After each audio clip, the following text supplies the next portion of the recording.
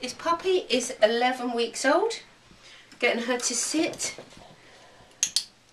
using a hand signal, getting her to and wait, step back, click and treat, giving her tiny bits of it, raising my hand in the air so she drops down, giving her tiny bits.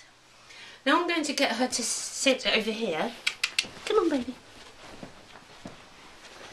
Getting her to sit and wait and come. Good girl. Good girl. And now she was actually doing what I call chill. She was putting her head on her paws there. But I'm just going to do this again to show you again. Come on. And oh, she's sweet. Come on. Thank you. So this is a, a signal to get her to drop at a distance when I raise my hand in the air. Come, one more time. One more time. Good girl.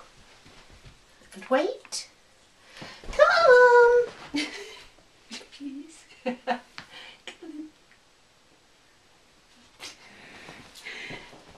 then I raise my hand in the air. And then she goes down.